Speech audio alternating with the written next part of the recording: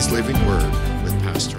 We're continuing our study on being filled with the Holy Spirit, the evidence of speaking in other tongues, praying in our prayer language, which is one of the pieces of armor um, we have that we've been given according to Ephesians 6:18. And there are different kinds of speaking in other tongues. I want to clarify that because um, you can speak in the tongues of man or of angels.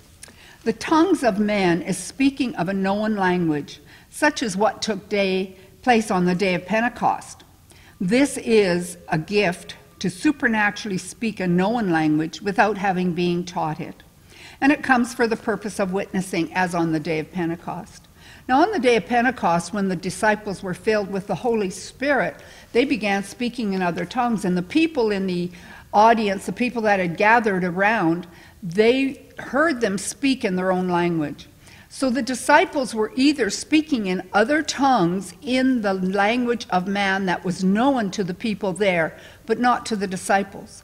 But another possibility is because there were so many people and the disciples were all together, were the disciples speaking in other tongues, and it's very possible the gift of tongues and interpretation were taking place. That as the disciples spoke in other tongues, the people heard the interpretation, that the Holy Spirit gave them the interpretation to hear in their known language.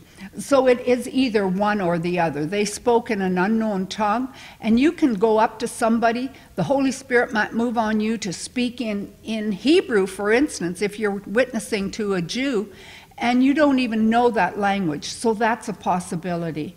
But it's also a possibility that the gift, tongues and interpretation, were in operation.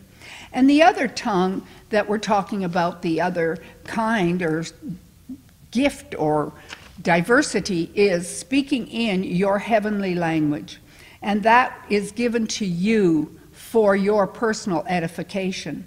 And it's not known to you, and nobody else knows it. It um, allows you, the believer, to directly communicate with your Heavenly Father through the Spirit.